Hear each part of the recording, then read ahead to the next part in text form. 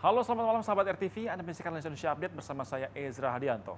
Meski tengah dilanda gelombang kedua virus corona, kebun binatang Berlin di Jerman tetap dibuka. Penerapan protokol kesehatan pun diperketat, termasuk membatasi jumlah pengunjung. Namun nyatanya, wisatawan masih enggan untuk berwisata ke kebun binatang.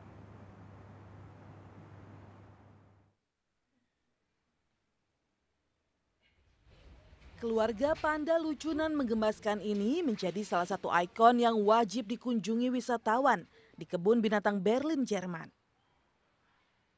Biasanya, pengunjung akan memenuhi sekeliling penutup kaca untuk menyaksikan tingkah lucu bayi-bayi panda. Namun kini jauh berbeda. Ancaman pandemi corona yang memasuki gelombang kedua di Jerman membuat wisatawan yang masuk menurun drastis.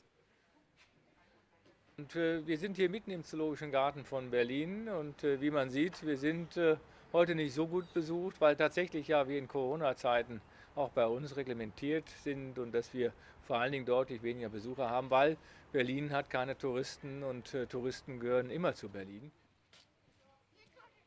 Kebun binatang tertua di Jerman ini selalu menjadi lokasi favorit wisatawan sejak berdiri tahun 1844. Biasanya sebanyak 3,8 juta tiket habis terjual setiap tahun. Namun sejak terhantam pandemi corona, kebun binatang ini pun mengalami kerugian besar. Also wenn man natürlich konkret fragt, natürlich kann ein zoologischer Garten auch pleite gehen, wenn Sie da so konkret fragen. Aber wir haben, glaube ich, genügend Vorkehrungen getroffen, dass das nicht passieren wird. Und Selama pandemi corona, kebun binatang Berlin hanya menyediakan lokasi kunjungan terbuka. Sementara seluruh lokasi dalam ruangan seperti akuarium raksasa ditutup.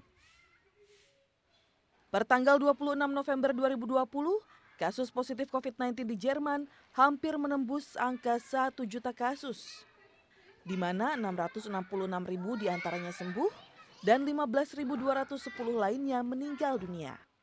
Lensa Indonesia Update akan kembali menjumpai Anda dua jam mendatang. Saya Zadianto, sampai jumpa.